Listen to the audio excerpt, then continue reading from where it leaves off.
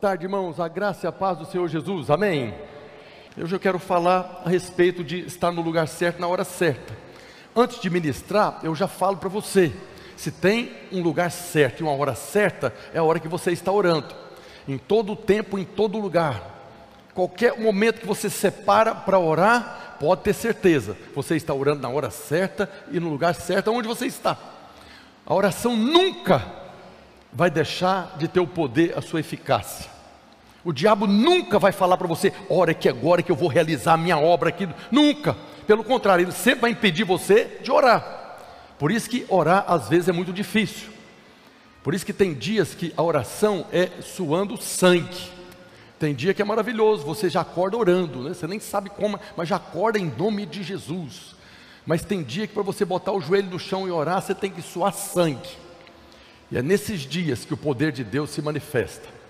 Infelizmente, a maioria de nós, nesse dia difícil, não ora. Aquele dia, não estou com vontade, parece que tem um negócio que está me prendendo, eu não consigo coordenar minha mente. É nesse dia que a oração tem poder. Por que, que você está tão assim, com essa resistência? Porque o inferno inteiro está ali para não deixar você abrir a boca. Porque já percebeu que Deus quer fazer alguma coisa poderosa através da sua vida. Então, se você quer perceber qual que é o melhor dia para orar, pastor, é o dia que você não quer, é o dia que está tudo contra, é o dia que a zoeira está demais. Esse é o dia poderoso para você orar, amém? Então, nós queremos compartilhar hoje a respeito de estar no lugar certo, na hora certa. Eu quero ler um texto que está lá em Eclesiastes capítulo 9, a partir do verso 11. Isso é Salomão falando. Vi ainda debaixo do sol que não é dos ligeiros o prêmio nem dos valentes a vitória, nem tampouco dos sábios o pão, nem ainda dos prudentes a riqueza, nem dos inteligentes o favor. Porém, tudo depende do tempo e do acaso. Salomão está falando algo aqui que é meio contraditório. Ele fala que não é o que corre mais que recebe o prêmio, o troféu. É, aquele cidadão Usain Bolt, é, aquele corredor mais rápido aí da história das Olimpíadas, baseado no que Salomão está falando, não é ele. Ele não é o mais rápido, ah, mas foi ele que recebeu a medalha de ouro. Ele é o cara que marcou no cronômetro lá, o cara que mais correu. Pois é, mas Salomão está falando, inspirado pelo Espírito Santo, que ele não é o mais rápido. Tem outros que são mais rápidos do que ele. E os mais ligeiros do que ele não receberam o prêmio. Por quê? Porque circunstâncias da vida impediram que eles estivessem lá participando daquela corrida. Talvez no dia que ele foi lá para fazer o teste para ver se poderia correr, quebrou o pé, teve um acidente. O Uber demorou demais, ele chegou atrasado. Não teve jeito de entrar na corrida. Aí o Usain Bolt entrou e treinou e chegou lá e conquistou. Que Deus está falando através de Salomão que nem sempre o que pega o troféu da corrida mais rápida não é o mais ligeiro. Ele fala também que não é dos valentes, dos mais fortes a vitória, nem tampouco dos sábios o pão, nem ainda dos prudentes, dos capacitados, daqueles que mais prepararam, que mais trabalharam, a riqueza. Isso aqui, a primeiro momento, você pensa que é para desanimar, mas pelo contrário, é para te motivar. Que você vê muitas pessoas tendo sucesso, alcançando posições, mas o que Deus está falando aqui, que aqueles que estão, às vezes, numa posição que você olha, ele não está lá porque ele foi o mais rápido, o mais valente, o mais sábio. Ele foi lá porque ele teve oportunidades, literalmente, porque estava no lugar certo, na hora certa. Então, o que faz diferença na nossa vida não é que se preparar, treinar, buscar, trabalhar, estudar não seja importante, mas o que Deus está falando aqui é que além de você fazer tudo isso, você ainda precisa estar no lugar certo, na hora certa. Quantas pessoas aí se propõem a fazer um concurso, um vestibular, estuda muito, e aí no dia do vestibular, o ônibus atrasa, dorme um pouco mais, chega lá, o portão fechou, ele não é aprovado, não é porque ele não sabe, não é porque ele tem sabedoria, é porque as circunstâncias impediu que ele fizesse a prova. E aí Salomão continua falando, verso 12: Pois o homem Primeiro, ele fala que tudo depende do tempo e do acaso, depende do tempo e da oportunidade, depende do tempo e da graça de Deus concedida a nós, pois o homem não sabe a sua hora, Não é só a hora de morrer, não. Nós não sabemos a hora de morrer. Mas nós não sabemos que hora que vai vir a resistência. Nós não sabemos que hora que vai haver o impedimento. Não sabemos que hora que o avião vai atrasar. Nós não sabemos o que, que vai acontecer. E como peixes se apanham com a rede, são apanhados com a rede traiçoeira, e como passarinhos que se prendem com o laço, assim se enredam também os filhos dos homens no tempo da calamidade, quando cai de repente sobre eles. Então Salomão está falando que a vitória, o vitorioso, nem sempre está na, nas características daquela pessoa que assumiu a posição. O que ele está falando é que tudo depende do tempo e do acaso, de estar no lugar certo e na hora certa. E somente Deus pode nos colocar no lugar certo e na hora certa. Somente Deus pode criar circunstâncias ou agir poderosamente para que nada impeça você de estar lá no lugar certo na hora certa. Você pode fazer tudo certo, você pode trabalhar, estudar, mas no fim, se o Senhor não edificar, em vão trabalha, está escrito lá no Salmo 127. Se o Senhor não edificar a casa, em vão trabalham os que edificam. Não está falando aqui que tem pessoas edificando. Então, se o Senhor não edificar a casa, em vão trabalha os que estão edificando mais uma vez parece contraditório. Tem pessoas tentando edificar a casa. Essa edificação pode ser de paredes mesmo, mas pode ser a família, o lar. Às vezes você tem, passa por problemas na sua família e você está ali trabalhando, aconselhando, fazendo o que tem que fazer, e às vezes a coisa está completamente fora do seu controle. O que o salmista está falando é que se o Senhor não operar, se você não buscar nele a força, se você não buscar nele a sabedoria, às vezes em vão você está trabalhando. Se o Senhor não guardar a cidade, em vão vigia a sentinela. Inútil vos será levantar de madrugada, repousar à tarde, comer o pão que penosamente granjeaste. Se o Senhor não operar, nós fazemos tudo, mas podemos chegar na hora errada e no lugar errado. E aí outra pessoa que não é o mais ligeiro, que não é o mais valente, que não é o mais prudente, vai receber o prêmio, vai receber a bênção financeira, vai receber aquilo que nós estávamos buscando. É isso que Salomão está falando, que para nós sermos abençoados, nós devemos estar no lugar certo, na hora certa. Mas há pessoas que acabam chegando na hora errada e no lugar errado, e por isso acabam sendo apanhadas na rede traiçoeira ou no laço do passarinheiro. São enredados, de alguma maneira, não chegaram no lugar certo e na hora certa. E isso, essas coisas acontece. Às vezes a pessoa fez tudo que tinha que fazer, conforme a cartilha, conforme o manual, mas na hora não alcançou o que ela desejava.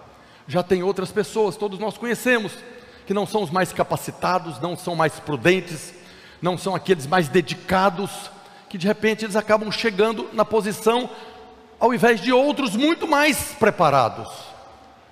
Essas coisas não são coincidências, é por um arranjo divino, é um arranjo do Espírito Santo. O Senhor pode todas as coisas. O Espírito Santo é esse agente que opera na nossa vida, organizando os eventos ao nosso redor, preparando para que as coisas aconteçam na hora certa, no lugar certo, e também criando livramentos para que nós possamos não chegar na hora errada e no lugar errado. O Espírito Santo é esse agente divino pessoa da Trindade que pode nos conduzir ao lugar certo na hora certa. Nós temos uma história maravilhosa no segundo livro de Reis, que é um dos milagres que Eliseu realizou. Foi um, quando ele ressuscitou o filho da mulher sunamita. Morreu o menino, que ele inclusive havia profetizado que nasceria. Foi o milagre do nascimento, e depois o menino morreu. Aí ele foi lá e ressuscitou o menino.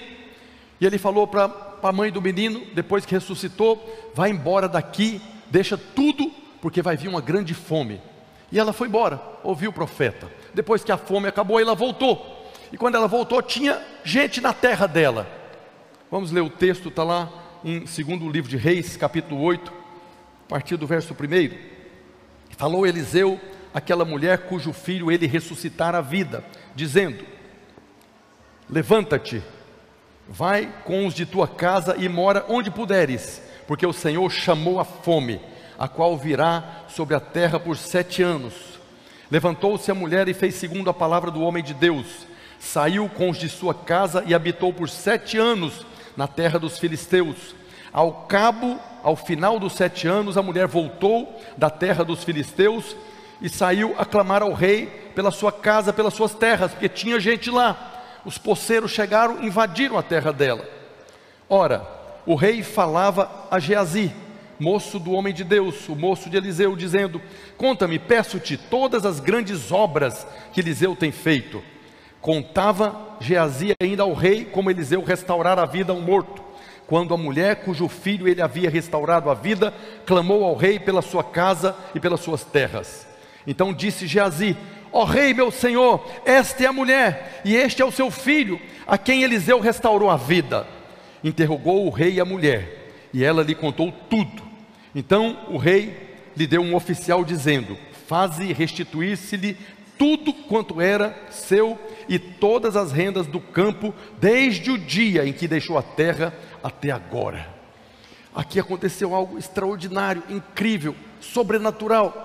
Essa mulher voltou e não tinha mais nada, passou sete anos fora, não teve os rendimentos da terra. E no momento que ela chegou lá para clamar o rei, Geazi estava contando e o rei tinha acabado de perguntar para ele: Me conta aí os milagres que Eliseu fez. E quando Geazi está falando da história do menino que foi ressuscitado, a mulher chega lá clamando ao rei. Geazi poderia ter falado isso num dia anterior, ou falar no dia posterior, um outro ano, mas exatamente naquele lugar, naquela hora, a mulher chegou lá. A mulher sunamita chegou na hora certa, no lugar certo, cronometrado. E quando Jazi está falando dela, a mulher entra e ele fala: É essa aí, está aqui o testemunho. Esse menino morreu e Eliseu ressuscitou. E ela pega e fala: Eu quero aproveitar aqui, já que nós estamos reunidos aqui, eu queria pedir para o senhor que eu voltei, e agora tem gente na minha terra. E se você prestou atenção no favor de Deus sobre a vida dela, o rei falou para ela: deu para ela um oficial, vai devolver todas as suas propriedades e todo o rendimento que ela teria nessa terra durante sete anos. Todo o trabalho que ela poderia realizar naquela terra durante os sete anos que ela estava fora, ela está recebendo agora, sem fazer nada, só porque ela chegou na hora certa, no lugar certo. Coincidência, pastor, isso acontece todo dia, acontece sim ou não? Isso não acontece. Isso foi um arranjo de Deus e abençoou essa mulher. Terceira, grande milagre na vida dessa mulher. Primeiro, não tinha filho, o profeta foi lá e abençoou, teve o um filho. Aí o filho morreu, o profeta foi lá, ressuscitou o menino. Aí ela volta, não tem mais nada, roubaram tudo. Ela vai no rei, recebe tudo de volta e mais o rendimento de sete anos. Pensa aí no seu salário dos últimos sete anos. De repente chega, passa tudo para ele lá, devolve para ele só porque ela chegou na hora certa, no lugar certo. O favor de Deus se manifestou. Nós precisamos pedir ao Espírito Santo. Muito pode pela sua eficácia a oração do justo. Essa é uma oração que nós devemos fazer, pedir para que o Espírito Santo nos conduza para chegarmos no lugar certo, na hora certa. Será que essa mulher foi lá imaginando que isso ia acontecer? Será que essa mulher estava ali agora pronta, que eu vou chegar lá? Deus já me abençoou duas vezes, agora eu vou chegar lá e vai estar tudo pronto? Será que ela tinha uma fé sobrenatural que essas coisas iriam acontecer? Ou simplesmente foi falar com quem deveria falar? Ela falou com o rei. Ela foi falar com o rei. E no momento que ela chegou para falar com o rei, ela chegou na hora certa, no lugar certo. Nós temos um rei que podemos falar com ele a cada momento. Cada momento que você falar com o seu rei, o rei Jesus, o rei dos reis, você estará falando na hora certa, no lugar certo e Ele vai abrir as portas, e Ele vai manifestar poder, e as coisas vão acontecer na sua vida. Nós precisamos pedir o Espírito Santo que nos mostre, que nos conduza, que nos leve a estar no lugar certo, na hora certa, para que a gente não possa cair na rede traiçoeira, nem sermos pegos no laço do passarinheiro. Então, tem alguns princípios que eu quero compartilhar com os irmãos, de que nós podemos agora trabalhar com o Espírito Santo para chegarmos na hora certa, no lugar certo. O primeiro princípio tão importante é que nós precisamos ser conduzidos pelo Senhor. Nós temos um Senhor, amém? Dia que você nasceu de novo, você confessou Jesus como Senhor da sua vida, como dono da sua vida. E porque você confessou como Senhor da sua vida, Ele lhe deu o seu Espírito. E você passou a ser agora a habitação do Espírito Santo. E o Espírito Santo passou a habitar em você para quê? Uma das coisas pelo qual o Espírito Santo habita em você é para te conduzir a toda a verdade. Então nós podemos ouvir, devemos ouvir do Espírito Santo, devemos ouvir a direção de Deus, a voz de Deus. Deus fala conosco, sim ou não? Deus fala conosco, Deus fala com todos os seus filhos. Então nós precisamos aprender a ouvir a voz de Deus. Quando nós ouvimos a voz de Deus, então nós chegaremos no lugar certo, na hora certa. Tem pessoas que imaginam, talvez por causa de ensinos errados, que para ouvir de Deus primeiro você tem que te consertar com Deus, te conserta com Deus que Deus vai falar contigo. Arruma a sua vida que aí Deus vai falar contigo. Ou então que a mente clerical, os nicolaítas, Deus só fala com o sacerdote, de apóstolo para cima, patriarca, anjo, Deus não fala com os leigos. Mas Jesus não fala isso, Jesus fala o seguinte: está lá em João 10, 27. As minhas ovelhas ouvem a minha voz, eu as conheço e elas me seguem. Jesus falou: se é minha ovelha, vai ouvir a minha voz e vai me seguir. Tem ovelha do Senhor aqui? Diga glória a Deus. Então, se você é ovelha do Senhor, Ele está falando, você vai ouvir a voz dele. E ele não está falando aqui, se as minhas ovelhas não forem a ovelha perdida, não for a ovelha rebelde, não for aquela ovelha desobediente, se for a ovelhinha bonitinha, cheirosinha, vai ouvir a minha voz. Não, ele está falando, se é minha ovelha, vai ouvir. Pode ser a centésima, a centésima ovelha rebelde que estava perdida, ouviu a voz do pastor? Sim ou não? Ouviu, o pastor foi lá, pegou ela, e não levou ela embora chutando, sentando o cajado, botou nos ombros e levou de volta mesmo aquela ovelha rebelde, mais do que ouvir, ela foi conduzida, conduzida. E se nós somos ovelhas do Senhor, nós podemos ouvir a voz, mesmo tendo tantos ensinos errados contrários a isso. Nós cremos no Evangelho da Graça, nós pregamos o Evangelho da Graça, e Jesus está falando aqui para todas as suas ovelhas: se você é ovelha do Senhor, você está habilitado a ouvir a voz dele, amém? Diga glória a Deus. Jesus não colocou nenhuma condição. Ele de onde vem essa voz? Isso é verdade. O Espírito é para você discernir qual Espírito está falando na sua mente e no seu coração. Quando nós ouvimos alguma voz, nós devemos discernir se é o Espírito de Deus, se é o meu Espírito ou se é o diabo. Então nós devemos ter, mas aí alguns irmãos bloqueiam, não quer ouvir, rejeita toda voz, porque a Bíblia fala que enganoso está lá em Jeremias 17, 9 Enganoso é o coração mais do que todas as coisas, e desesperadamente corrupto. Quem o conhecerá? Como é que eu posso confiar no meu coração, pastor? Se a Bíblia está falando que ele é enganoso e corrupto. Isso aqui está no Velho Testamento. Lá no Velho Testamento, na velha aliança, as pessoas tinham um coração duro mesmo. Nós vemos Jesus falando lá a respeito dos fariseus, que tinham um coração duro. Mas no momento do novo nascimento, no momento que você creu com o coração, confessou com a boca, você recebeu um novo coração. Lá no livro do profeta Ezequiel, capítulo 36, verso 26, está escrito: Dar-vos-ei coração novo, dar-vos-ei um coração novo e porei dentro de vós um espírito novo. Tirarei de vós o coração de pedra e vos darei um coração de carne. Por que, que Deus ia dar para você um coração novo, corrupto, enganoso? Por que queria tirar um coração que não presta e colocar outro que não presta? Nós não temos mais na nova aliança um coração corrupto e enganoso. No Velho Testamento as pessoas precisavam esperar para ouvir de Deus, esperar o sacerdote lá falar. Tinha uma tribo sacerdotal. Hoje todos nós somos sacerdotes.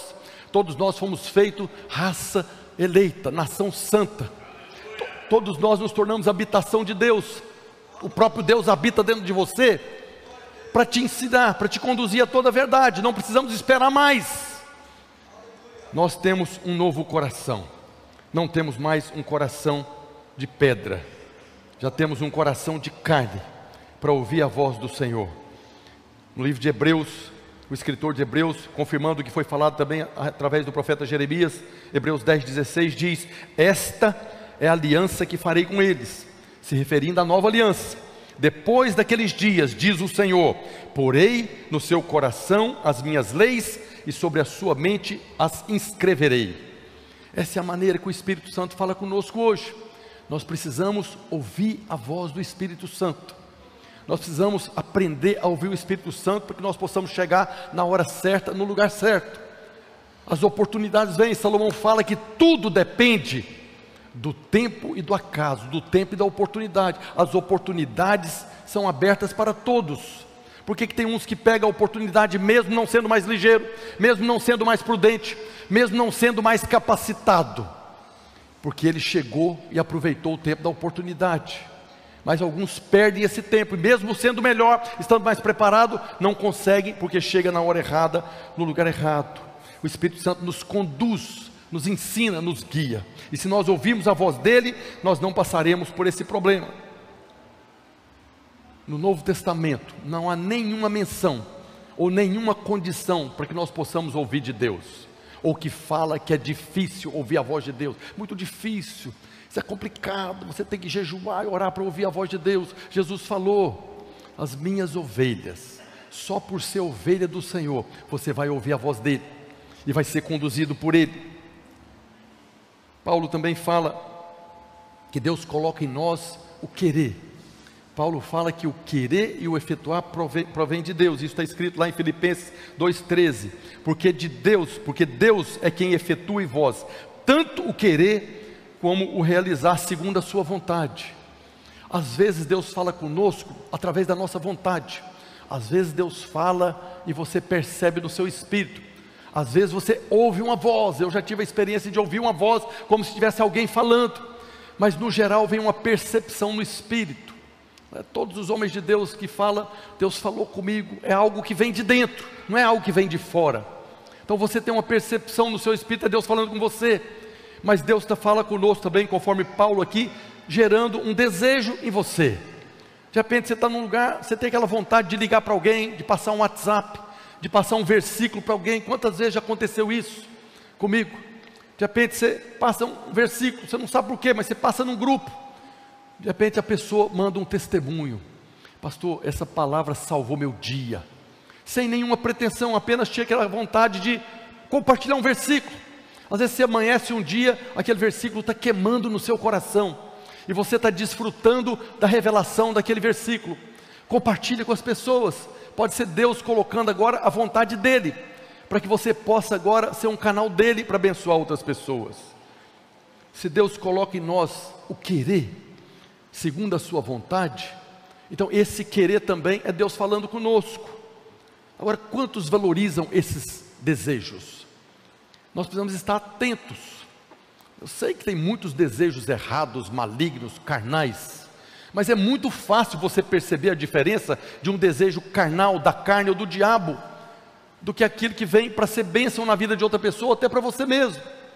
Então tem muitos momentos que você tem uma você lembra de uma pessoa, Poxa vida, como é que será que está aquele irmão? Passa uma mensagem para ele. Pode ser o querer de Deus para abençoar aquela pessoa através da sua vida. Valorize esses desejos do coração. Valorize essas vontades. Se Deus coloca em nós o seu querer, então nós temos que estar atento ao querer em você. Aí de novo, mas meu coração é enganoso, corrupto. Você não tem mais esse coração. O que é do diabo, o que é da carne, você percebe na hora, você não tem que preocupar com isso. Você não tem que preocupar com a maneira que eu vou ouvir de Deus. Se você é ovelha do Senhor, você vai perceber. Você pode estar com preguiça, pode não estar com vontade, pode estar sem crédito, sem internet, mas procura maneira de perceber o querer de Deus na sua vida. O querer e o efetuar procede dele em nós. Ele vai gerar o querer em você. Aí aproveitando abrindo um parênteses, às vezes você não tem um querer de vir para o culto, às vezes você não tem um querer de ir para a célula. Não, Deus não colocou o querer de ir para o culto. Isso é o diabo que tirou o querer de Deus. E a vontade de Deus é que você seja edificado. Mas quantos irmãos obedecem ao querer de vir para o culto? Mas aí não tem o querer, ele fica. E quantos irmãos chegam aqui que Deus coloca o querer, vai lá e oferta esse dinheiro, tudo está na sua carteira aí. E aí você está aqui e fala, não, está amarrado em nome de Jesus. Aí esse querer é do diabo, mas o vir para o culto não era. Precisamos aprender a ouvir a voz de Deus.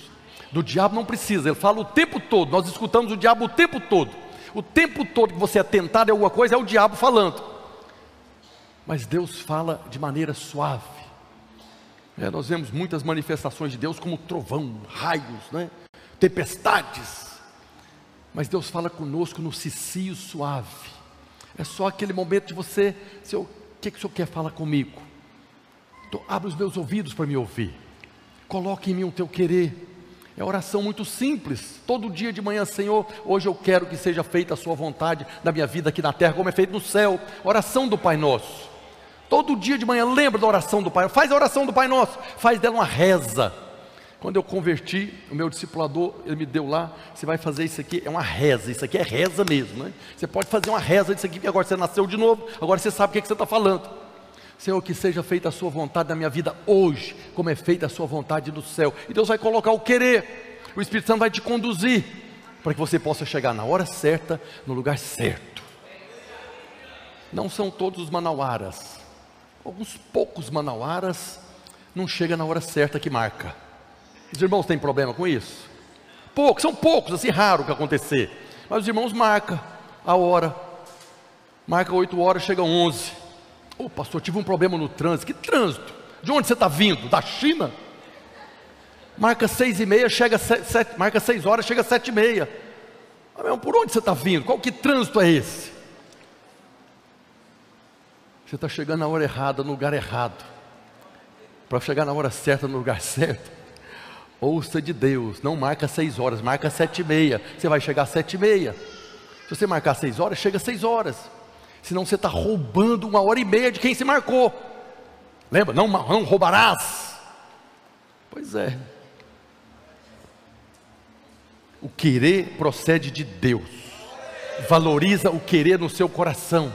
Valoriza o querer falar do amor de Deus. Às vezes você está perto de uma pessoa tão oprimida, aquela dificuldade ali, sofrendo, conhecido seu, você sabe que está passando uma luta terrível, e você fica assim: eu podia falar de Jesus para ela, né? Não é você que está pensando, é o querer de Deus no seu coração para abençoar aquela pessoa. Uma palavra simples: Jesus te ama. Antes de converter, eu tinha uma raiva daqueles crentes, principalmente os Assembleia de Deus, assembleanos, que punham aquelas plaquinhas: Jesus te ama. Todo lugar tinha uma plaquinha em Goiás: Jesus te ama. Mas quantas pessoas foram salvas? Quantas pessoas tiveram um alívio no coração, venceram a opressão, porque viu escrito lá numa placa lá: Jesus te ama. Ninguém me ama, mas Ele me ama. Quantos filhos de Deus foram fortalecidos no Senhor, renovados no Senhor, na força do seu poder, porque viram escrito: Jesus te ama. Então não poupe de passar o WhatsApp: Jesus te ama, Jesus te ama, Jesus te ama. Pega de manhã e passa por todos os seus grupos: Jesus te ama. Pode ter certeza, tem pessoas que vai falar: puxa vida, Ele me ama. Está lá no, na rede, né? na rede, como Salomão fala, está preso numa rede maligna, não consegue pensar está preso no laço do passarinheiro, e quando ele vê a mensagem, Jesus te ama, ele vai ser fortalecido, renovado e vai sair daquela posição, apenas porque Deus gerou em você o querer abençoar alguém e vai te usar. Paulo está afirmando: o Senhor coloca o seu querer, é uma das maneiras de falar conosco. Paulo também diz, 1 Coríntios capítulo 2, verso 9.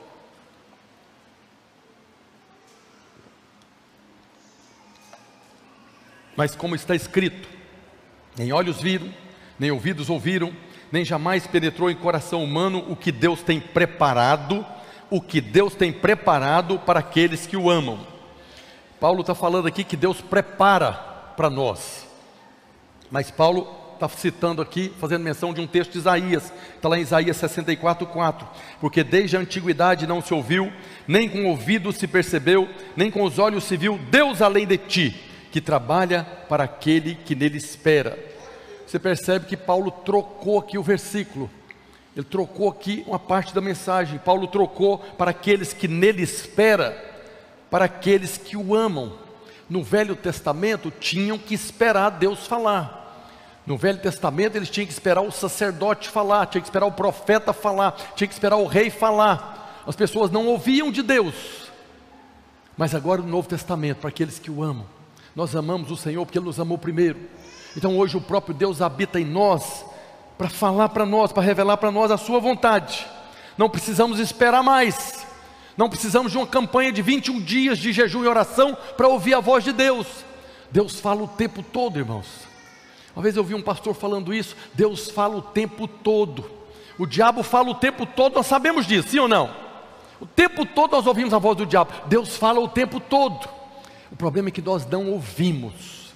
Nós não ouvimos, não estamos apercebidos. Nós precisamos amadurecer o nosso espírito, crescer em fé, amadurecermos para poder discernir. E a melhor ferramenta que nós temos é o orar em línguas. A leitura da Bíblia também é muito importante, mas o orar em línguas, porque Paulo fala que o que ora em línguas, o seu espírito ora de fato. Ele está amadurecendo, se tornando mais sensível para as coisas do espírito. Deus é espírito, e ele fala no espírito, e nós recebemos também no espírito. Nós precisamos crescer para ouvir o que Deus tem falado. Hoje o próprio Deus habita em nós e nos revela a sua vontade. O que nós precisamos fazer é orarmos orarmos e pedir para Deus para nós conhecermos a vontade dEle, orarmos e pedir para Deus para que Ele abra os nossos olhos para nós percebermos o caminho que Ele está nos conduzindo. Se nós seguirmos os desejos do coração que estão em linha com a palavra de Deus, então estaremos no lugar certo, na hora certa, não cairemos na rede como peixe, ou não seremos pegos no laço do passarinheiro. Um segundo princípio é sente-se aos pés do Senhor. Semana passada nós falamos de Marta e Maria. Marta na casa correndo de um lado para o outro, atribulada, Jesus diz. Estava atribulada de um lado para o outro, mas Maria estava aos pés do Senhor, adorando. Maria estava aos pés do Senhor, ouvindo, prestando atenção, discernindo o que, que o Senhor estava falando. Ela estava prostrada na posição de adoração que nós falamos na semana passada, numa posição de intimidade. Quando cultivamos intimidade, nós passamos a ouvir mais fácil a voz de Deus. E essa posição que Maria estava, lhe permitiu, de maneira gloriosa, estar no lugar certo e na hora certa. Algo extraordinário naquele dia foi essa Maria que de repente levantou, pegou um vaso de alabastro, de unguento preciosíssimo, e ungiu Jesus. Marcos fala que ela ungiu a cabeça, João fala que ungiu os pés, ela ungiu Jesus inteiro. Nós falamos semana passada que Judas se levantou revoltado. Podia ter usado esse perfume que é o trabalho de um ano de um trabalhador comum para dar comida para os pobres. Mas Jesus disse lá em João 12, 7. Jesus, entretanto, disse: Deixa que ela guarde isto para o dia que me embalsamarem. Nós vimos semana passada, isso aqui foi uma semana antes de Jesus morrer. Maria estava ali, não sabia de nada mas ela ungiu Jesus. E depois que Jesus morreu e ressuscitou dos mortos no domingo, outras Marias foram até o túmulo. Elas foram lá para fazer o quê? Ungir Jesus. Mas Jesus não estava mais lá, já havia ressuscitado. Está lá em Lucas 24, a partir do verso 1. Mas no primeiro dia da semana, domingo, alta madrugada, elas foram cedinho, vamos chegar na hora certa, no momento certo, no lugar certo alta madrugada foram elas ao túmulo, levando os aromas que haviam preparado. E encontraram a pedra removida do sepulcro, mas ao entrarem não acharam o corpo do Senhor Jesus. Elas foram lá para ungir o corpo dele, mas ele não estava mais lá. Elas chegaram na hora errada, no lugar errado. Jesus já tinha saído, mas teve alguém que o tempo e o, acaso deu a oportunidade de ela ungir Jesus. Quem foi? Maria. Naquele momento que ela estava aos pés do Senhor, ela ungiu e Jesus falou: Ela está preparando o meu corpo para embalsamento. Embalsamamento. Ela estava no lugar certo e na hora certa. O que, que nós temos que fazer? Nós temos que fazer como Maria, estar aos pés do Senhor, adorando, ouvindo, meditando se nós buscarmos a melhor parte, como Jesus falou para Maria, então nós não teremos problema de chegar no lugar certo e na hora certa. Um outro princípio que nós devemos estar atento é não estar preocupado com a opinião dos homens, não estar preocupado em ser lembrado por homens. Maria não se importou com as observações malignas carnais de Judas, ela fez o que tinha que fazer. Ela não sabia, mas ela estava preparando o corpo de Jesus para a sepultura. Mas às vezes nós também preocupamos muito com a opinião das pessoas ou com o que as pessoas podem fazer, de sermos lembrados pelos homens. A Bíblia fala que tudo quanto nós fizermos devemos fazer de todo o coração. Para quem? Para o pastor? Para o líder? para o marido, para a mulher, para o patrão. Tem que trabalhar aqui de todo o coração para essa empresa ser abençoada. Não, tudo quanto fizer, fazei-o de todo o coração, como que para o mais alto, como que para o Senhor, porque é dele que vem a recompensa.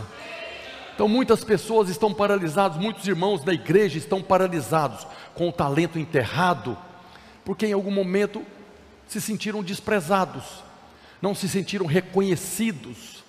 Eles achavam que estava na hora de ser reconhecido, de receber uma posição, um título, não receberam. E eles atribuem isso ao homem.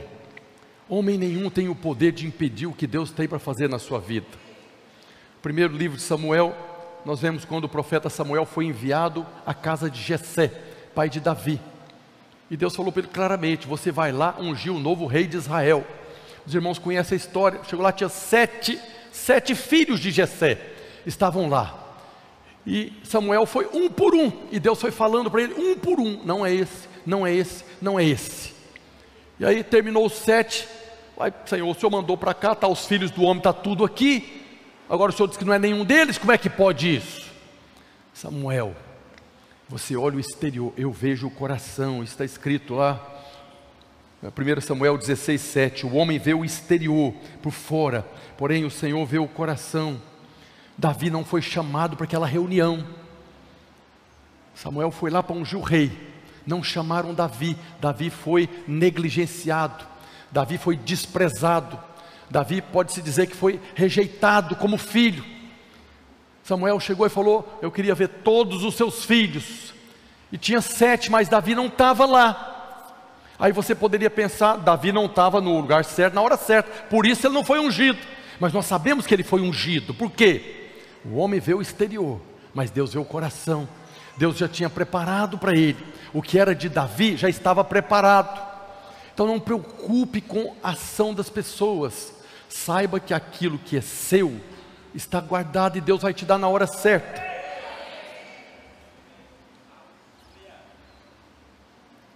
Muitos de nós nos sentimos muitas vezes negligenciados, desprezados, rejeitados na família, na empresa, na igreja, e às vezes paralisamos por isso. Davi não ficou magoado. Quando mandaram chamar ele, e ele veio, o profeta ungiu. Deus mandou ungir. Foi lá e ungiu. Não estava lá. O profeta achou que não ia ungir. Alguns escritores falam que Davi foi negligenciado porque ele não era filho legítimo de Jessé. Ele era diferente, ele era ruivo. Ele era diferente dos outros irmãos. Então alguns acreditam que o pai mesmo desprezava ele porque não era filho legítimo. Para Deus não fez diferença.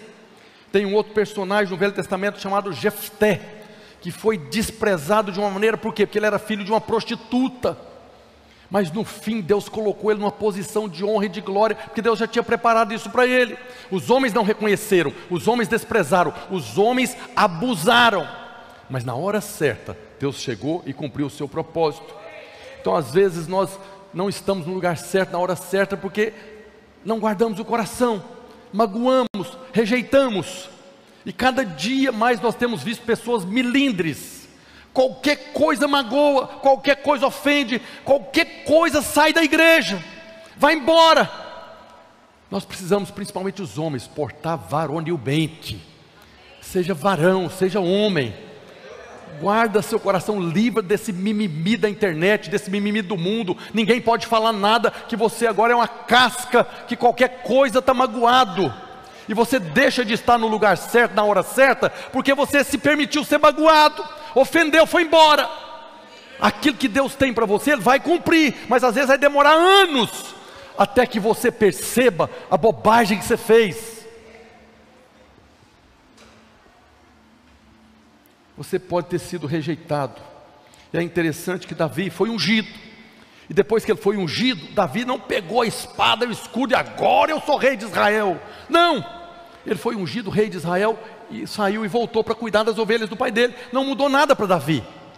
Aquela unção que Deus colocou sobre ele, nós conhecemos o poder daquela unção, mas naquele momento era apenas Deus estabelecendo. Ele voltou para cuidar das ovelhas. O, a família dele não, não adorou ele como rei de Israel.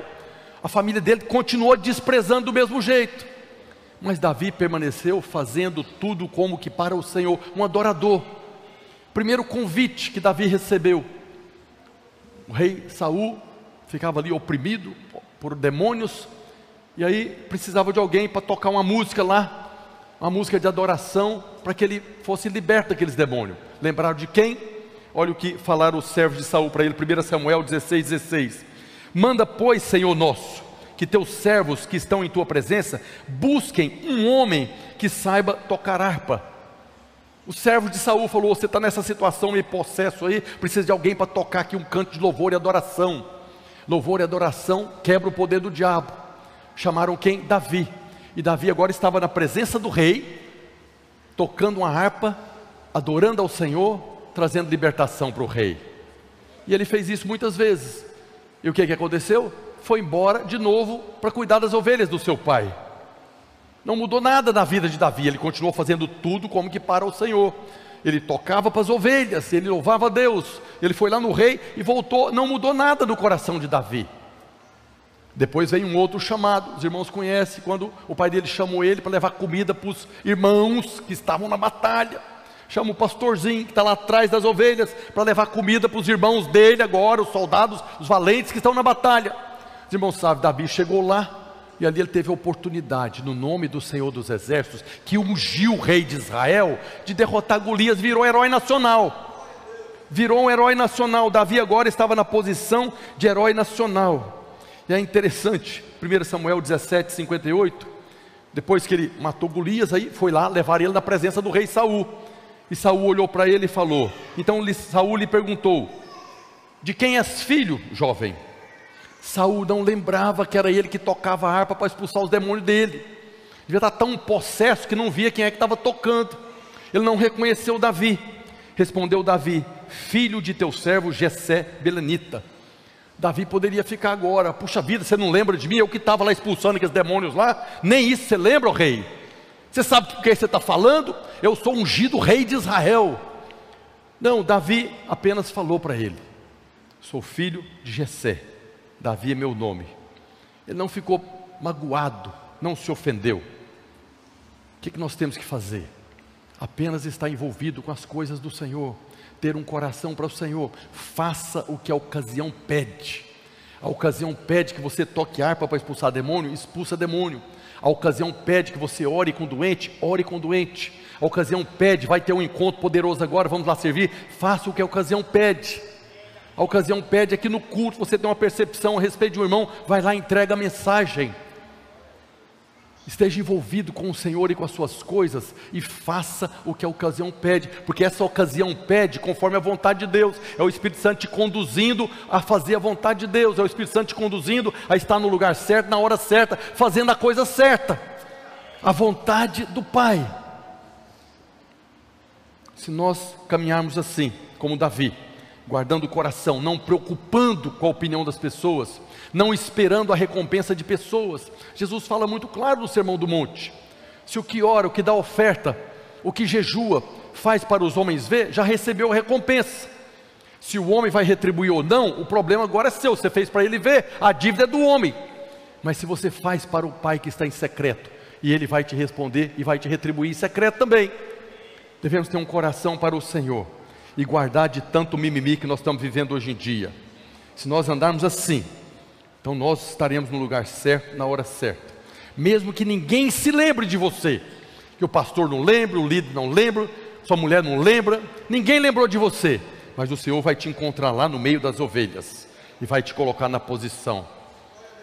Quarto princípio, peça, peça, peça aquilo que você necessita. Peça para ser abençoado. Peça a bênção de Deus, ore e peça bênção, mas peça muita bênção financeira, na família, no casamento, na vida profissional.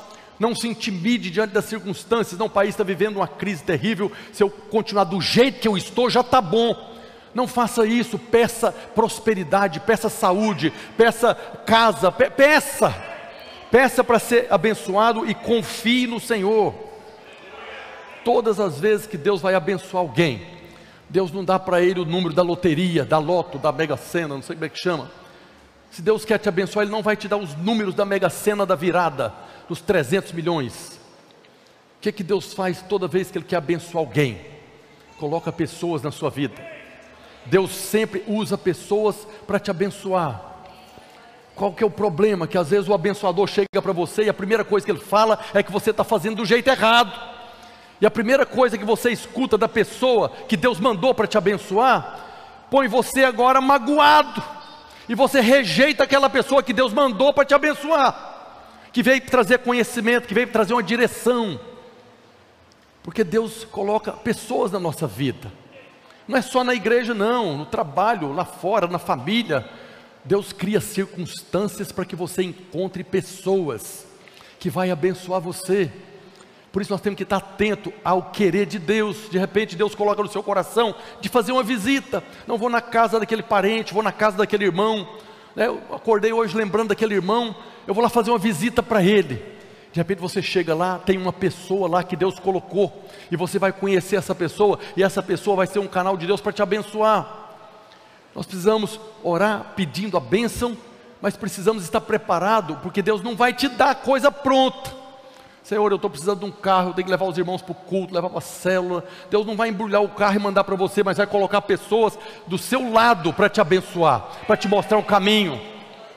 Precisamos ter olhos para ver pessoas que Deus coloca do nosso lado. E Deus coloca muita gente do nosso lado. Tem uma história engraçada que contam. Tem muito a ver, não, mas é engraçado. Teve uma enchente numa cidade uma vez lá e foi subir na água. Os irmãos conhecem a história antiga, né? E a água foi subindo, né? De um crente na casa lá e estava lá, Deus vai me livrar, Deus vai me livrar, Deus vai me livrar dessa enchente. E a água foi subindo, e ele passou para cima do telhado, mandou lá o bombeiro para pegar ele. Não, Deus vai me livrar. Aí quando a água já estava, mandou um barco para pegar ele. Deus vai me salvar. Aí quando a água já estava tampando a casa, mandou um helicóptero para pegar ele. E ele falou: Não, não vou de helicóptero, Deus vai me salvar. A água subiu, o cara morreu afogado. E aí ele chegou lá no céu. E chegou lá no céu, mas Senhor, eu criei no Senhor, o Senhor ia me salvar. E Deus falou para ele: Rapaz, eu mandei barco, mandei bombeiro, mandei até helicóptero te pegar lá. Você não quis ir, o que, é que eu vou fazer? Então Deus tem mandado pessoas. Deus tem mandado pessoas para te abençoar abençoar você que está nos ouvindo aqui hoje. Talvez essa palavra está chegando aí e você está lembrando das pessoas que Deus colocou do seu lado e que você fechou o coração para elas. É tempo de você procurar. Passa um WhatsApp, a graça e a paz do Senhor Jesus, amém, irmão? Passa uma mensagem, restaura a comunicação. Deus nos abençoa, colocando pessoas chaves do nosso lado. São conexões espirituais. O anjo do Senhor está trabalhando ao nosso redor para poder nos colocar na hora certa, no lugar certo, do lado de pessoas. No lugar certo, na hora certa, você vai encontrar pessoas que vão abrir portas para você, que vai conduzir você por um caminho daquilo que você deseja, prosperidade, casamento. Falando de casamento, então, Deus coloca pessoas do seu lado para te abençoar.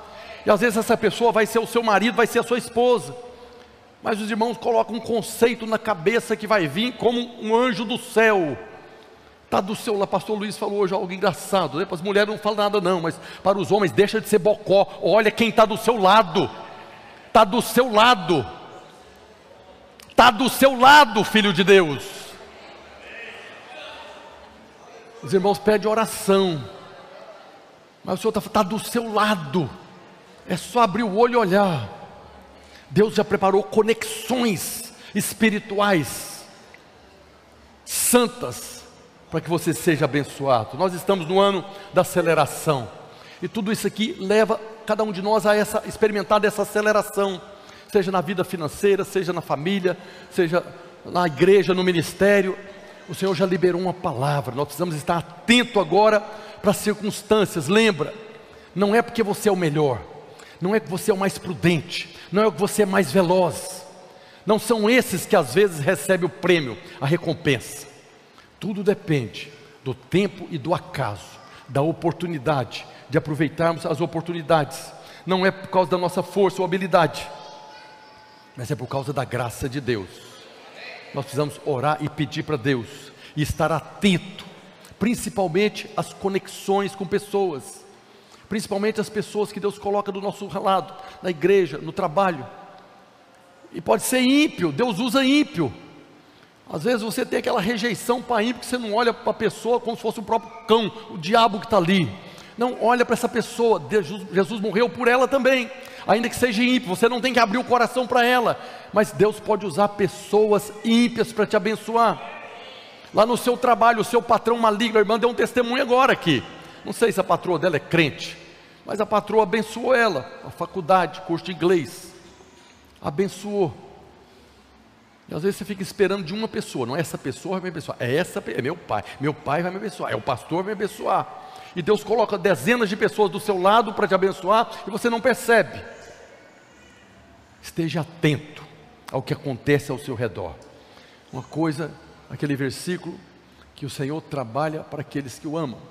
Mas tem um versículo que fala que aos seus amados ele dá enquanto dormem. Ou seja, não precisa ser o melhor não precisa ser o mais experiente, o mais capacitado. Ele vai te abençoar, mas Ele vai te abençoar colocando também pessoas do seu lado. Ele vai te abençoar te conduzindo quando você ouve a voz do pastor. Ele vai te abençoar colocando pessoas do seu lado.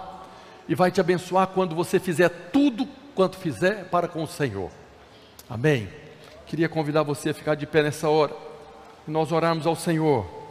Que essa mensagem encontre no seu coração como terra fértil que ela vai cair como semente, que vai germinar e vai produzir frutos a 100, a 60 e a 30 por um. Que você seja o próximo que vai testemunhar aqui o milagre de Deus na sua vida. Que você seja o próximo que vai testemunhar aqui, falando que aquela pessoa Deus colocou do meu lado e as portas se abriram. Quase todos os milagres, testemunho que nós ouvimos aqui, as pessoas mencionam outras pessoas que Deus colocou do lado. Você ouviu essa mensagem hoje? Feche os seus olhos agora e ore ao Senhor. Mas ore para o Senhor pedindo para Ele que você quer estar sempre no lugar certo, na hora certa, para ser abençoado da parte dEle. Amém? Pai, no nome de Jesus, nós te louvamos, ó Deus. Louvamos ao Senhor, ó Deus, porque em tudo o Senhor tem nos abençoado.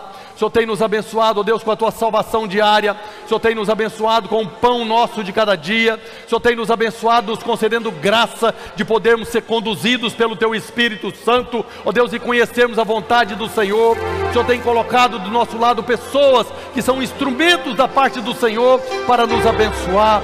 Nós oramos hoje, ó Deus, livra-nos, livra-nos de cairmos, ó Deus, no lastro do passarinheiro, livra-nos, ó Deus, de sermos presos na rede dos pescadores, livra-nos, ó Deus, de andarmos por caminhos que não são os do Senhor, de chegarmos atrasados no lugar errado. Oramos hoje, ó Deus, para que o Senhor nos abençoe, para que nós possamos estar a cada dia, a cada momento, no lugar certo, na hora certa, fazendo a coisa certa, em nome de Jesus. Antes de nós cantarmos um cântico, eu queria fazer um apelo aqui.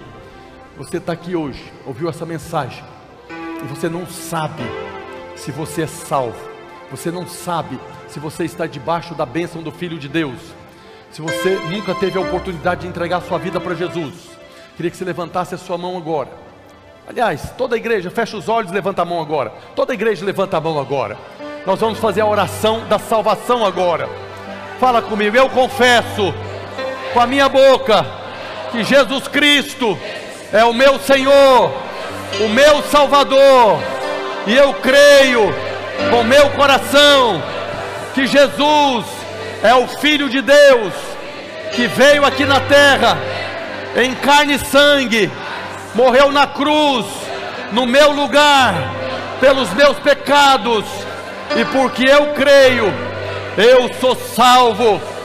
Senhor Jesus, eu te recebo hoje como meu Senhor e Salvador. Escreve o meu nome no seu livro e libera sobre mim a graça abundante e o dom da justiça para que eu possa reinar em vida no nome do Senhor. Aleluia. Essa é a oração da salvação. Por essa oração você está recebendo Jesus como Senhor e Salvador da sua vida. Tem alguém no nosso meio que fez essa oração pela primeira vez? Tem aqui, aleluia, glória a Deus, aleluia, glória a Deus. Todo dia é dia de salvação. Não perca, queridos, a oportunidade de ser um agente de salvação. Aleluia, aleluia. Antes de nós ceiarmos, eu queria você que tem algum tipo de enfermidade, Coloca aí o pão, o cálice do lado aí. Eu queria que você colocasse a mão onde você tem enfermidade. Eu creio que o Senhor quer operar cura aqui hoje. O Senhor quer operar cura. Todos nós podemos ser usados pelo Senhor com dom de cura. Então, se tem, você tem algum tipo de enfermidade, seja ela de que origem for, coloque a mão agora. Se você está do lado aí, você conhece, marido com esposa, né, se você sabe alguma enfermidade que ela tem, coloque a mão agora. Aonde se é um problema, dor de cabeça, se é no coração, onde for, dor na coluna, coloque a mão aí agora. Nós vamos orar agora. Eu creio que Deus vai operar um milagre agora, um milagre de cura. Amém? Toda a igreja fecha os olhos agora e vamos orar. Pai, no nome de Jesus, nós cremos, ó Deus, na tua palavra que diz que estes sinais hão de acompanhar aqueles que creem, e nós cremos, Senhor, cremos que fomos ungidos, ungidos pelo Senhor, ungidos pelo Espírito Santo, para impor as mãos sobre os enfermos e eles serem curados, e nós oramos hoje, em o nome de Jesus, em o nome de Jesus, que essa enfermidade desapareça agora, que essa dor desapareça agora, que esse incômodo, esse desconforto desapareça agora, em nome de Jesus todo problema de saúde, seja de que origem for, sai dele agora, em nome de Jesus. Nós desligamos a enfermidade, a deformidade, ligamos a cura e a restauração, em nome de Jesus Cristo, nosso Senhor. A igreja diga amém. Glória a Deus, aleluia. Pois se você for curado, você vem aqui testemunhar aqui na frente, amém.